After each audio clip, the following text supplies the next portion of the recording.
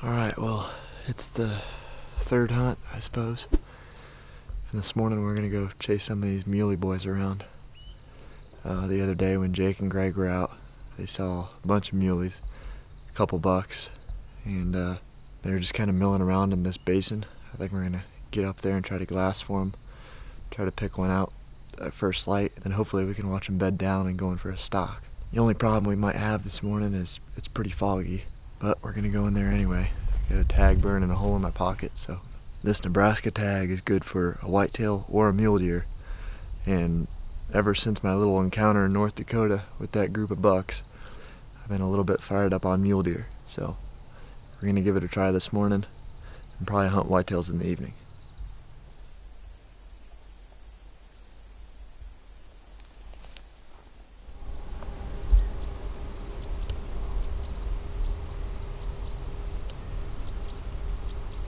I'm him right now. He's moving to the oh, right. Oh yeah, I got him again. It's the same one from the other day.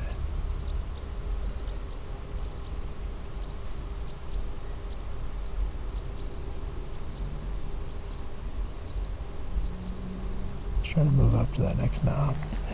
I think, don't you? Yeah.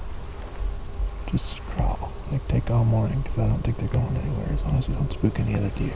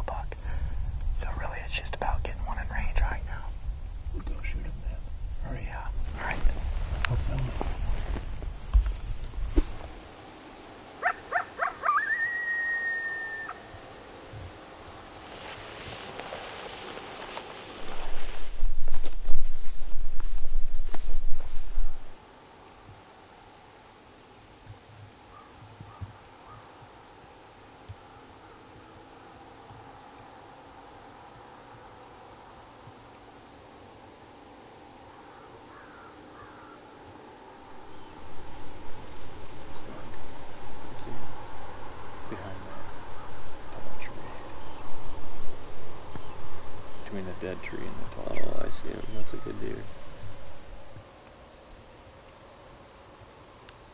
Two of them. I think the went back behind that bush. Two of them. That's the two shooters that both down there.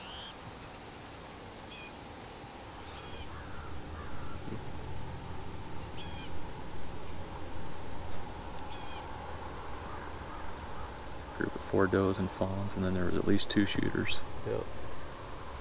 Well, that's good. There's at least some consistency in the movement.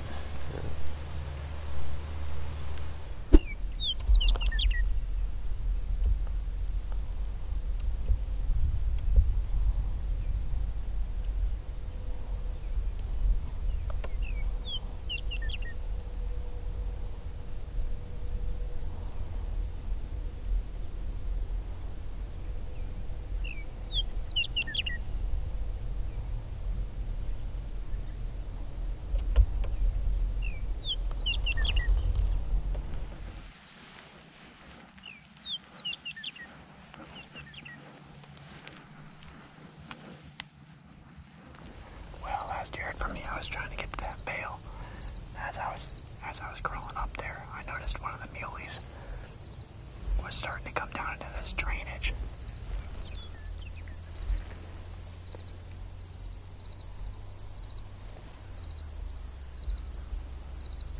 They're gonna come up behind her, I think. I'd imagine this doe is gonna work the opposite hillside and go bed down. Hopefully, we can watch the bucks go bed. She might turn around and go right back up in there too. It's pretty steep all throughout here unless they go way past us. I think they might just bed right at the head of this thing.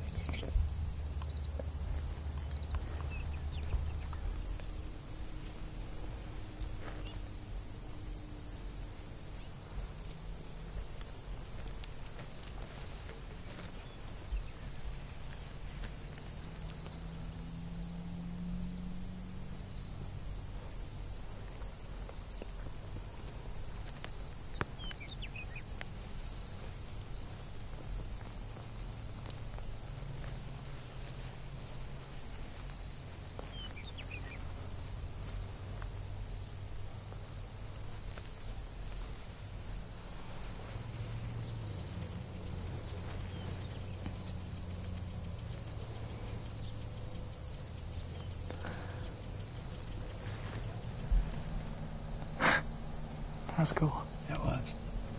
I feel good about hunting them in the future though, because Yeah. Pattern. they literally just cross this basin, come out feeding that field, and then they head back. I'm assuming they're bedding in the next one over. I think right at that corner where they came in and out of. And the sweet thing is with all those hay bales and it being damp in the morning, like you can always move on them. Two times now we've seen them in, like within bow range of the same spot. Right. Well, we had quite the eventful morning, much more than I expected, and we came out here. It was real foggy, hard to see. Jake just spotted the body of one of these bucks, exactly where he saw it the other day with Greg. The general theme was they all kind of walked by these two bushes here. I was way back there, so I couldn't get into position in time. But I think had I been in that bush there, or that bush there, I would have had a pretty close shot at him. Since we've seen him in this area so much, I think there's real good odds that if we set up in here in the morning, we'll have a shot at either one of those muley bucks or a whitetail buck. I got real excited there for a minute. Mm-hmm. Got a real nice muley buck at 70 yards, and I've never shot a muley. I'm really excited to come back in. We're supposed to have some weather over the next couple days, so that could make it interesting, but it could also help us out as far as moving around. I think what I'd like to do is get in early and set up on that bush. And ideally, they do exactly what they did this morning and the other day when Jake and Greg were out here. Just come off this hayfield and work into the bottom. They even fed on that bush a little bit this morning. I think based on what we saw, we better just back out, leave this area alone, let these deer do their thing, probably give them the evening, and then we'll come back when the conditions are right. At this point, it's good to have a couple spots in the bank. I mean, we had a real close encounter with some whitetail bucks the other night in the saddle. I almost shot a nice one. Um, now we've got this spot where we can shoot a muley or a whitetail. So it's good to have those options, and then we'll just decide which spot to go to based on the conditions. Greg and Dylan went out to glass this morning at a different piece, uh, so hopefully they're seeing something. They're having some luck.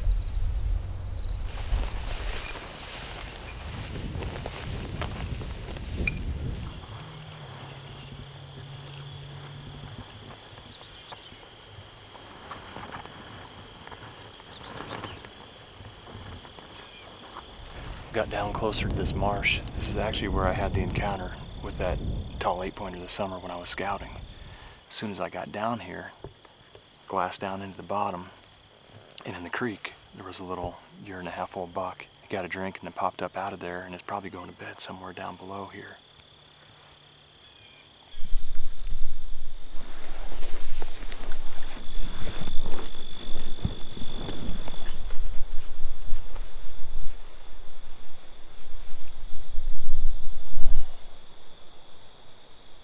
Well, it's about 11:30 right now, and we got some good intel from what we saw up on that high point this morning.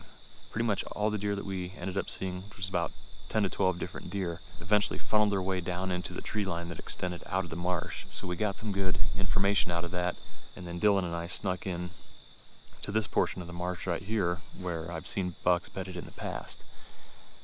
Got snuck down into these cedars, and I've just been glassing and scouring all of this cover.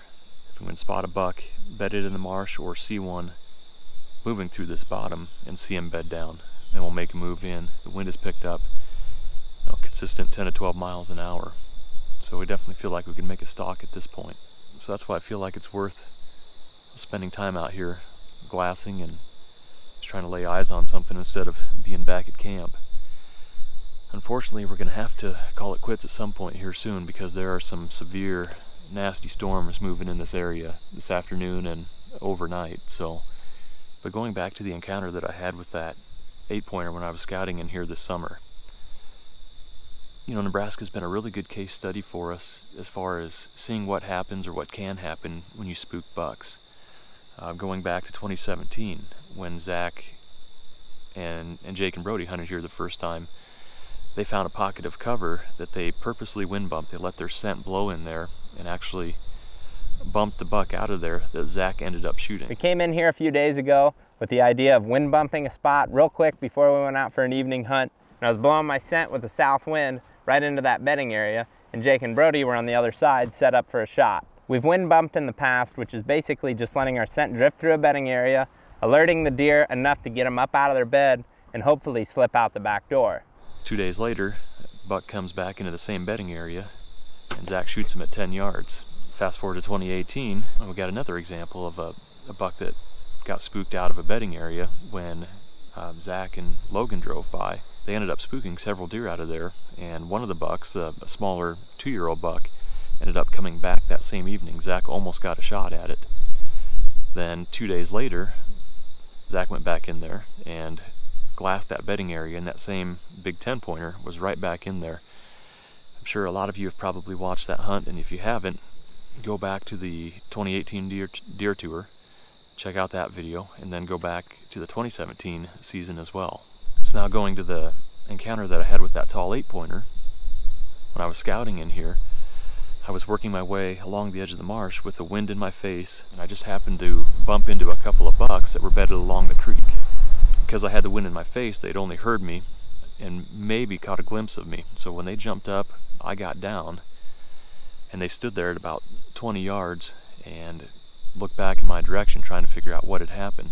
Got all kinds of footage of them. Eventually, they bounded up and over the dam and then farther back into the marsh. So I took note of everything that I could, marked the location on onX, and then slowly continued to work my way along the edge of the marsh.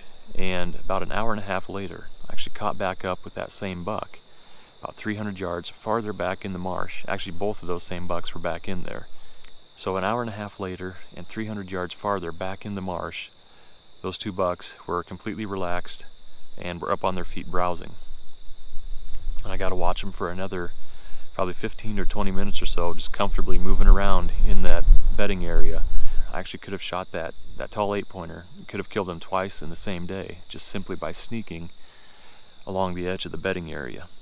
So it's pretty rare to have that happen where you can actually find out how far a deer went, how they reacted, you know, a certain time after actually bumping them. And if you bump a deer, that's obviously the ideal way to where they don't smell you. They maybe just heard you or maybe caught a glimpse of you and you can get down, get out of sight. Under the right circumstances, you know, still hunting like that essentially is what I was doing that day. Just slowly working my way through the bedding area. Uh, you know, essentially yielded two opportunities. What would be two opportunities had it been hunting season at the same buck. So that may be something that we get into later in the hunt.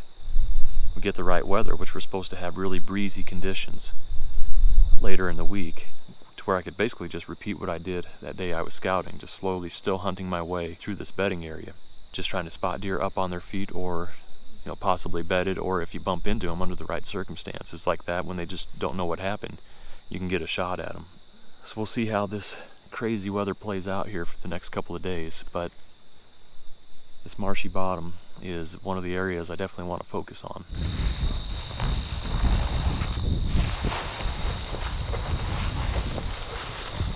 Just in case a buck shows up.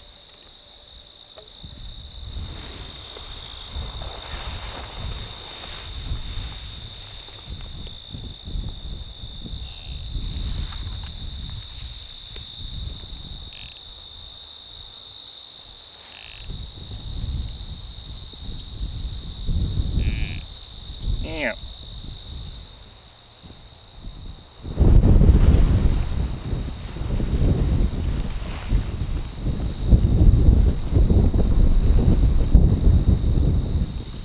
Just had a little bit of fun there. Saw that doe working away across the top, browsing along, just looped around backside. She got in the middle of this of this brush, have gave a Dylan and I perfect opportunity to sneak right up here within about 15 yards and could have shot her. Bleated at her. She was she was grunting or she was bleating. I don't know if she was trying to locate her fawns or what, but bleated back at her. Pulled her out into the open, about 15 yards away. Been A nice easy shot. That was fun. Even if you don't shoot them, you can hone your stalking skills in situations like that. Anyways, we got more ground to cover and another bedding area to look into.